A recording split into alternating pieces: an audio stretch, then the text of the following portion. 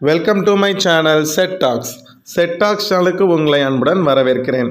இன்றைக்கி ரொம்பவே இன்ட்ரெஸ்டிங்கான ரொம்ப பேசிக்கான ஒரு விஷயம்.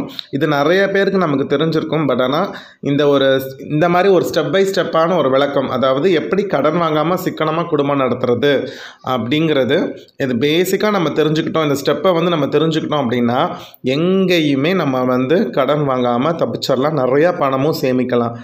இதில் வர ஒரு ஸ்டெப்பை கூட நீங்கள் வந்து மிஸ் பண்ணாமல் பண்ணணும் கன்சிஸ்டண்ட்டாக பண்ணணும். இதை நீங்கள் ஆறு மாதம் நீங்கள் இந்த பழகிட்டீங்க அப்படின்னா உங்களுக்கு கடனே வராது உங்களோட சேமிப்பு வெகுவாக பெருகுங்க. கண்டிப்பாக நிச்சயமாக பெருகும். இதுக்கு வந்து நான் ஹண்ட்ரட் பர்சன்ட் கேரண்டி ஃப்ரெண்ட்ஸ் வீடியோக்குள்ளே போகிறதுக்கு முன்னாடி இது வரைக்கும் நம்ம சேனலை சப்ஸ்கிரைப் பண்ணாமல் பார்த்துருந்தீங்கன்னா மறக்காமல் சப்ஸ்கிரைப் பண்ணிட்டு நோட்டிஃபிகேஷன் பில்லை கிளிக் பண்ணி ஆளுங்கிறத செலக்ட் பண்ணுங்கள் அப்போ தான் நான் போடக்கூடிய வீடியோஸ் வந்து உடனுக்குடன் உங்களை வந்து அடையும். வாங்க ஃப்ரெண்ட்ஸ் இப்போ நம்ம வீடியோக்குள்ளே போகலாம் ஃபஸ்ட்டு விஷயம் இன்றைக்கி நீங்கள் சம்பளம் எடுத்துட்டீங்க. குடும்பம் நடத்த போகிறீங்க மொதல் மாதம் சம்பளம் எடுத்துட்டீங்க ஒன்றாந்தேதி அப்படின்னா நீங்கள் ஃபஸ்ட்டு செய்ய வேண்டிய விஷயம் ஒரு டைரியோ நோட்டோ வச்சுருக்கணும். டோட்டல் இன்கம் அப்படின்னு ஃபஸ்ட்டு பேஜில் போடுங்க. எந்த மாதத்துக்கு நீங்கள் ஃபேமிலி ரன் பண்ண போகிறீங்க நான் ஒரு எடுத்துக்காட்டை May two thousand twenty three நான் போட்டிருக்கேன். ஏற்கனவே நான் யூஸ் பண்ண டைரியை நான் வந்து உங்களுக்கு சிம்பிளாக எழுதி உங்களுக்கு எக்ஸ்பிளைன் பண்ணுங்கிறதுக்காக எழுதியிருக்கேன். அந்த மந்த் அண்டு இயரை போட்டுக்கோங்க. போட்டுட்டு டோட்டல் இன்கம் உங்களுக்கு என்னென்ன இன்கம் வந்துச்சு அப்படிங்கிறத எழுதணும். ஃபார் எக்ஸாம்பிள் இப்போ பாருங்கள் ஹஸ்பண்ட் இன்கம் பதினஞ்சாயிரம் ஒய்ஃப் இன்கம் எட்டாயிரம். இது வரும். ஒரு வீட்டில் கணவன் மனைவி ரெண்டு பேரும் சம்பாதிக்கிறாங்கன்னா ரெண்டு இன்கமே நம்ம எழுதிடுவோம். இது இல்லாமல் எதெல்லாம் இன்கம் தெரியுமா? நம்ம இதெல்லாம் விட்டுருவோம். பேங்க்கில் நமக்கு இன்ட்ரெஸ்ட் கிடைக்குதுன்னு வச்சுக்கோங்களேன்.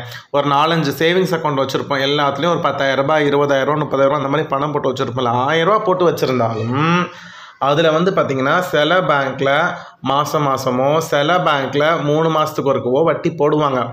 அதுவும் நம்மளோட இன்கம் தான். அது பத்து ரூபாயாக இருந்தாலும் இருபது ரூபாயாக இருந்தாலும் இல்லை முந்நூறுரூபாயாக இருந்தாலும் நமக்கு இன்கம் தான். ஸோ அப்போ நீங்கள் என்ன செய்யணும்? கண்டிப்பாக அந்த மாதம் நீங்கள் உங்கள் ஒவ்வொரு பேங்க் அக்கௌண்ட்லேயும் ஸ்டேட்மெண்ட்டை எடுத்து பார்க்கணும். இன்ட்ரெஸ்ட் விழுந்திருக்கா?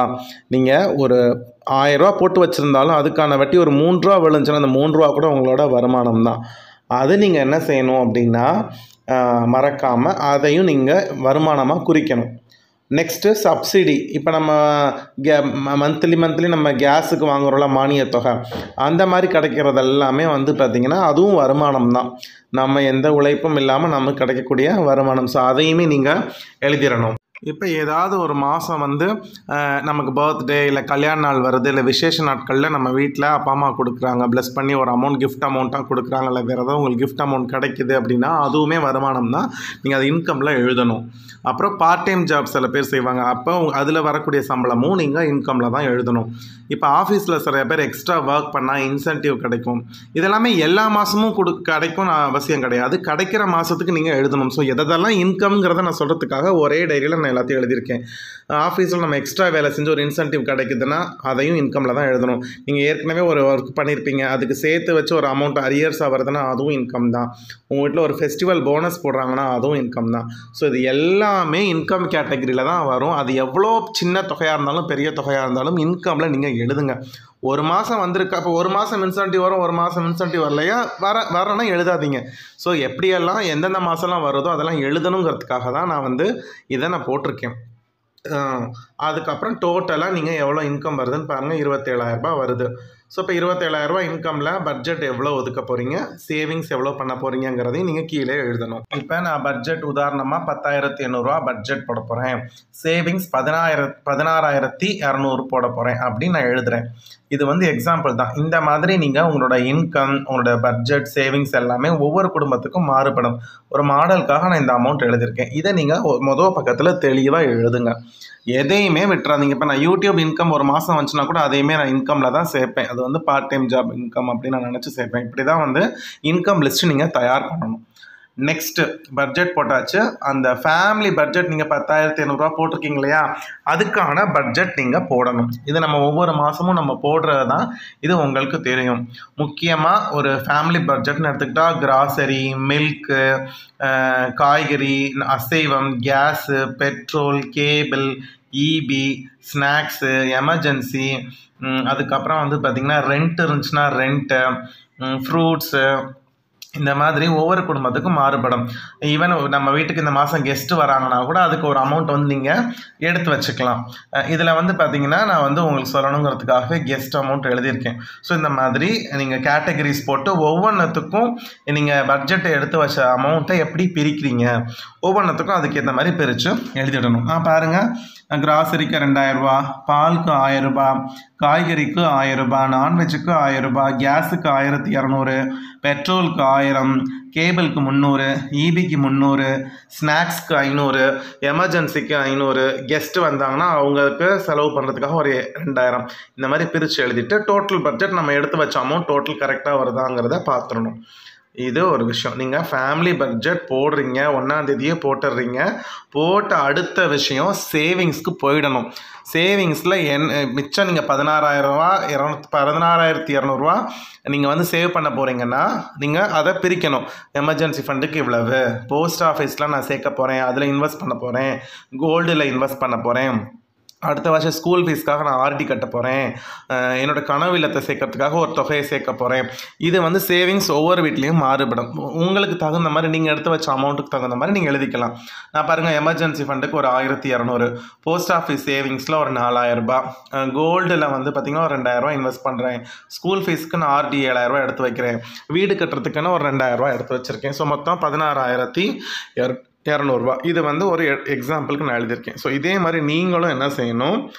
என்னென்ன சேவிங்ஸ் நீங்கள் பண்ண போகிறீங்க அப்படிங்கிறத எடுத்து எழுதணும். எழுதின கையோட முக்கியமாக நீங்கள் கவனிக்க வேண்டிய விஷயம் எந்த சேவிங்ஸ்லையும் வீட்டில் பண்ணவே பண்ணாதீங்க.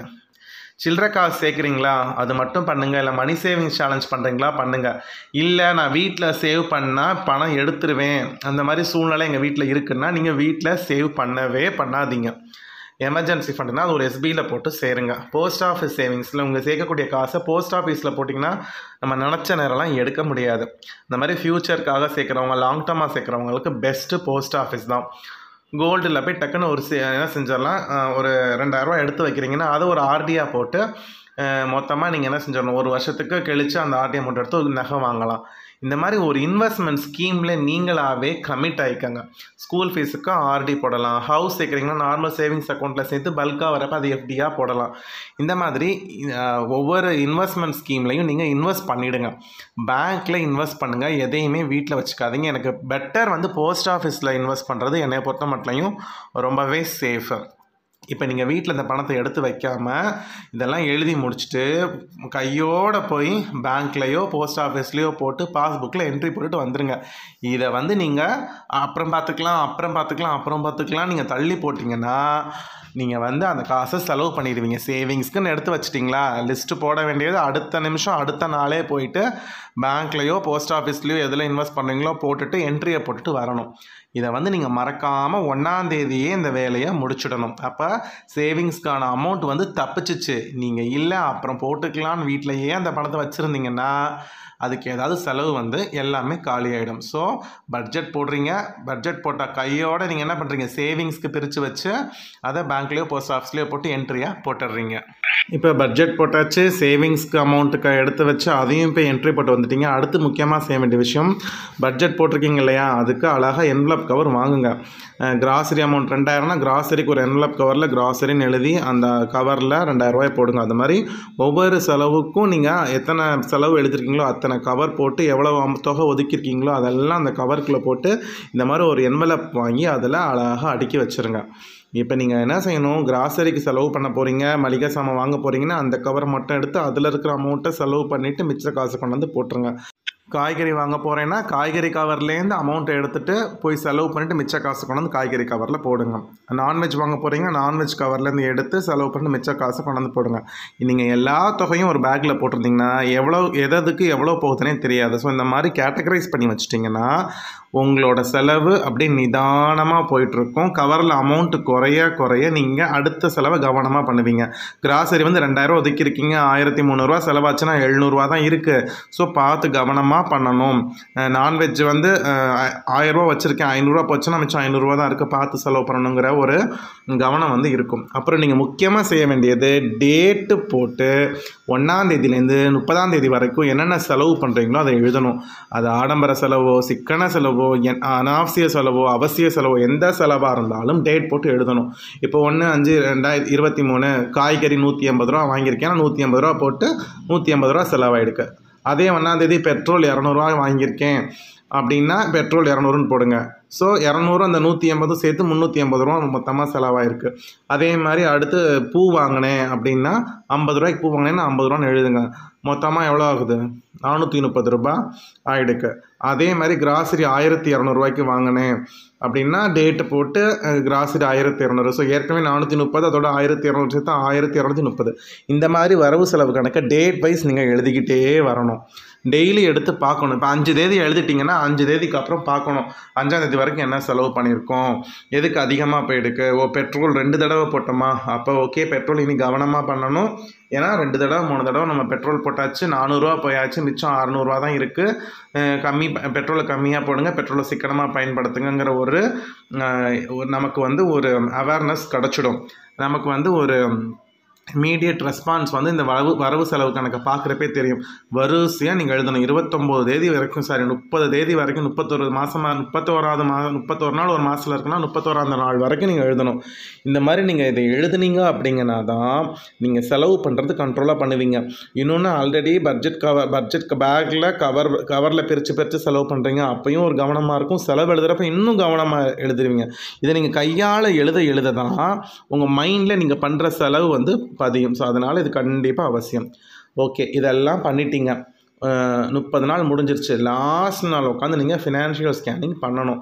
லாஸ்ட்டு பக்கத்தில் நீங்கள் பட்ஜெட் போட்டிங்க இல்லையா? Grocery milk veg non veg gas petrol cable EB snacks emergency guest அதெல்லாம் எழுதுங்க. எழுதிட்டு பட்ஜெட் எவ்வளோ அமௌண்ட் போட்டிங்கிறத எழுதுங்க. அதுக்கு பக்கத்தில் ஆக்சுவல் அமௌண்ட்டு இப்போ கிராசரி வந்து ரெண்டாயிரம் ரூபாய் போட்டிருக்கீங்க. ஆனால் எவ்வளவு செலவு பண்ணியிருக்கீங்க ஆயிரத்தி இரநூறுனா ஆயிரத்தி இரநூறு போட்டுக்கோங்க. டிஃப்ரென்ஸ் எண்ணூறுரூவா வந்து அதில் சேவ் ஆகிருக்கு பாலுக்கு ஆயிரரூவா எடுத்து வச்சிங்க. பால் கார்டுக்கு ஆயிரரூவா கட்டிட்டிங்கன்னா ஆயிரரூவா கட்டுங்க. டிஃப்ரென்ஸ் ஒன்றும் இல்லை.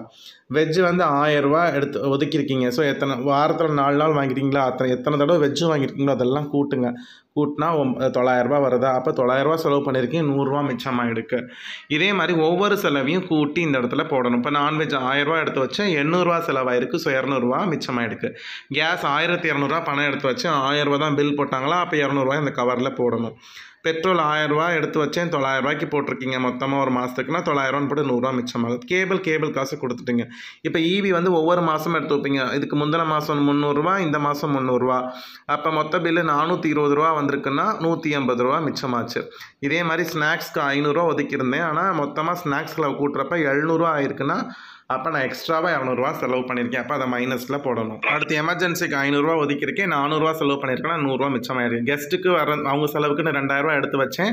ஆயிரத்தி எண்ணூறுரூவா செலவாயிடுச்சு. அப்போ இரநூறுவா மிச்சமாயிருக்கு இதை கூட்டுங்க. பட்ஜெட் ஆயிரத்தி எண்ணூறுரூவாய்க்கு போட்டிங்க. முந்நூறுரூவா பழைய காசு இருக்கும். ஸோ பதினோராயிரத்தி நூறுரூபா ஆக்சுவலாக ஒன்பதாயிரத்தி நானூற்றி முப்பது ரூபா நீங்கள் வந்து செலவு பண்ணியிருக்கீங்க மிச்சப்பட்ட தொகை ஆயிரத்தி எண்ணூற்றி எண்பது. அதில் இரநூறுவா ஸ்நாக்ஸ்க்கு அதிகமாக போனதுனால அதை கழிச்சுட்டா ஆயிரத்தி அறநூற்றி ஐம்பது ரூபா மிச்சம் பண்ணியிருக்கீங்க அப்போ இந்த ஃபினான்ஷியல் ஸ்கேனிங் பார்க்குறப்ப ஸ்நாக்ஸ் வந்து கொஞ்சம் ஓவராக செலவு பண்ணுறோம் அதனால் அங்கே கவனம் அவசியம். அங்கே வந்து கண்ட்ரோல் பண்ணணும்.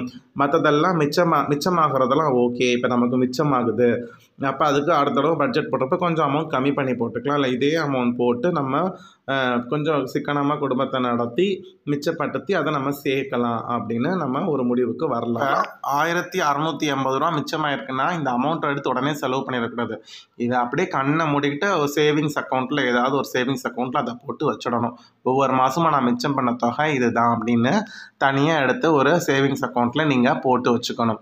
அதை வந்து செ மிச்சமாயிடுச்சுன்னு செலவு பார்க்கக்கூடாது. இது அப்படியே கூட வந்துச்சுன்னா அடுத்த தடவை நீங்கள் கவனமாக இருக்கணும். இந்த மாதிரி தான் வந்து ஃபினான்ஷியல் ஸ்கேனிங் பண்ணணும். இப்படி நடத்துனீங்கன்னா நீங்கள் சிக்கனமாக குடும்பத்தை நடத்தி கடன் இல்லாமல் வாழலாம். இந்த வீடியோ பிடிச்சிருந்துச்சுன்னா மறக்காமல் உங்கள் ஃப்ரெண்ட்ஸ் எல்லாருக்கும் ஷேர் பண்ணுங்கள் இந்த வீடியோ பற்றின கமெண்ட்டை கமெண்ட் செக்ஷனில் சொல்லுங்கள் ஃப்ரெண்ட்ஸ் அடுத்த வீடியோவில் உங்கள் எல்லாரையும் பார்க்குறேன். Bye friends